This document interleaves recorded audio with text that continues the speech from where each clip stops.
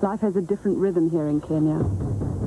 She came to start a new life. She came here to change things. She discovered a new courage. What kind of people do this? This isn't a place for amateurs. This killing must stop. Academy Award winner Kim Basinger I know this is a chance to find meaning in my life. as a woman fighting the odds to make a difference. It is a gift I did not expect. I Dreamed of Africa. Rated PG-13. Opens everywhere May 5th.